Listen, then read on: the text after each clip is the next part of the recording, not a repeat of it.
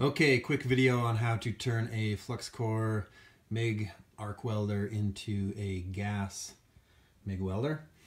Bought a tank of gas, bought a Harbor Freight regulator. I think they've only got one, so it's about 22 bucks. Hard to get the wrong one. You want this little nozzle here. I think it came with that. Then hose clamp, some tubing that fits that. I'm not going to give all the details because there's a lot of different ways you could do this. Another hose clamp, another nozzle, and another nozzle. Both of those nozzles will go onto this 220 volt solenoid. It's a gas solenoid that I bought on eBay. wasn't very expensive. And these are sold on eBay as a way to turn, they're for welders basically, is the way they're being advertised. So this will work great. Another hose clamp to a tube. And that tube will go then into the welder and connect onto that nozzle. So these welders, they're often sold at box stores. There's a ton of different models, but uh, most of them are advertised as being able to upgrade to a gas welder. So that's kind of one caveat of this video. If your welder is not compatible with gas, then you'd have a couple extra steps which would require figuring out a way for the trigger on your gun to actuate the solenoid. Luckily, if you buy one that is gas compatible, all of that's built in for you. Then I got some other odds and ends over here, some tips, a nozzle, uh, some thread, tape, keep the gas from leaking.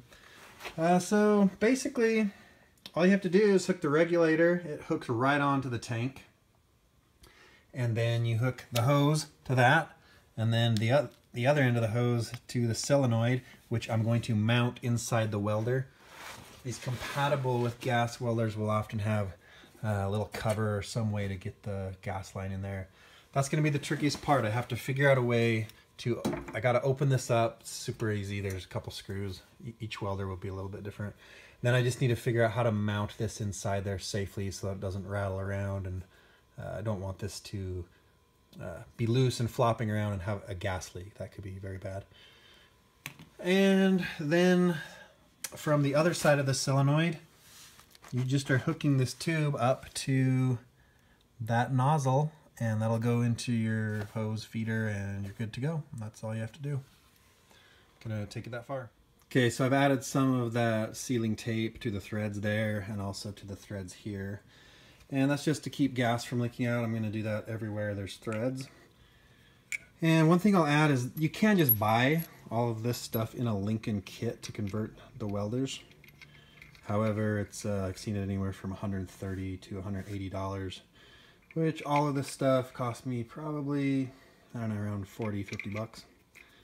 So saving some money, a little bit of fun doing it yourself, and you're basically getting all the same stuff. So just gonna hand tighten these and then snug them down with a crescent wrench or an open end wrench.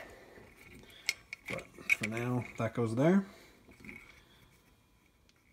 All right, the next step is to hook the tubing onto the nozzle from the regulator. It's pretty low pressure once it goes to the regulator, so this is just uh, tubing that I got at Home Depot.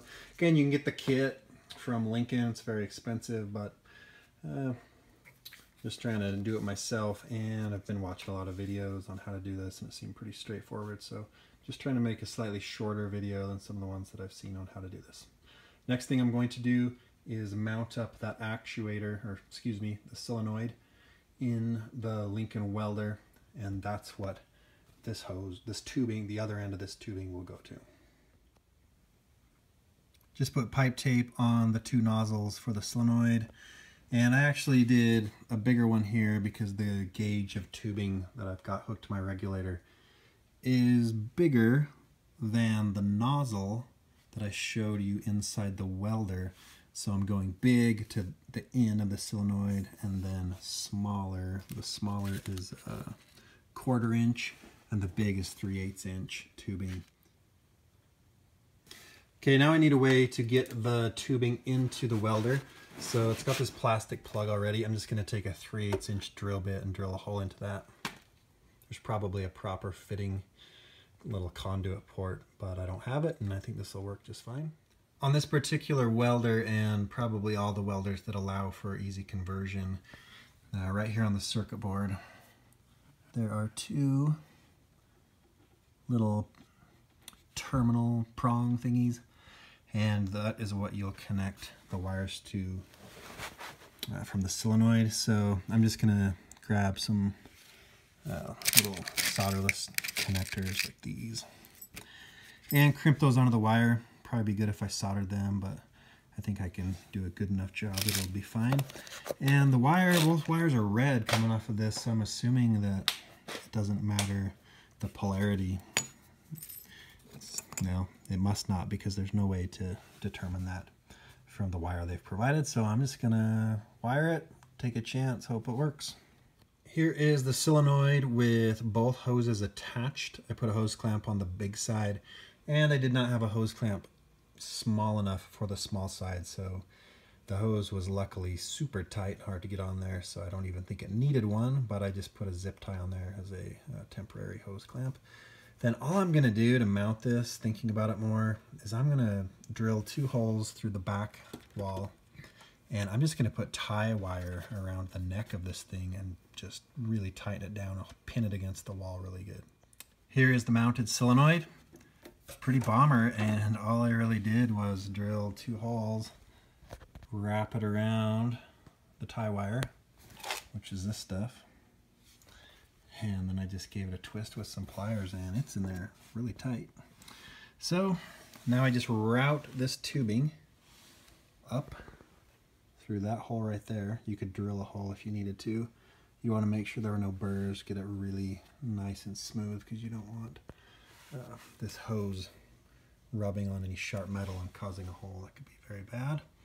And then I just route the other end of this to the nozzle on the other side tube is now coming through this uh, firewall, I guess you'd call it, and down to the nozzle that goes to the gun. And one last thing to note is on probably all of these welders, you're going to have to switch the polarity. So flux core, you can see the wires here, how they're routed. MIG, they're crossed, so you're basically just switching the positive and the negative. So I'm going to do that right now just by taking off these two wing nuts and swapping the wires on the posts and putting the wing nuts back on. And then you're done. Should work great. Okay, it's all done. I have switched the polarity. Now I'm just going to give it a try, see how it works. Okay, I'm all done. I've already tested out once and the conversion definitely worked. I'm not used to welding with gas. It makes a much cleaner weld. Uh, just give a quick demonstration here. Just do a couple tack welds on this joint here.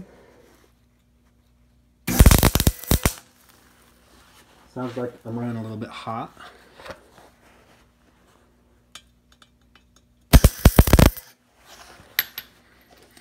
But I can definitely see and hear the weld's really a lot cleaner than it was with flux core.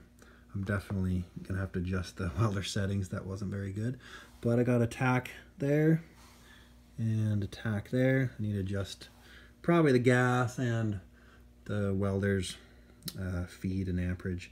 But it works. I can hear the gas flowing and now it's just a matter of uh, having the right welding skills to create a good weld, which I obviously need to work on. Good luck.